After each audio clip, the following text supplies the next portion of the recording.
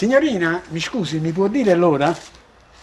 Uh, eh, seven, pardon, 6.40. Grazie. È straniera lei? Sì, Di dove esattamente? ex Jugoslavia, Montenegro. Mm. E tu? Di dove sei? Basilicata, Amaro Lucano.